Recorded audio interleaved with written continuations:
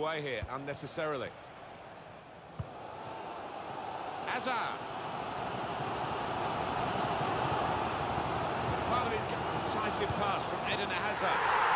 And Benzema finished with great aplomb there. It's a fine goal from a fine centre-forward.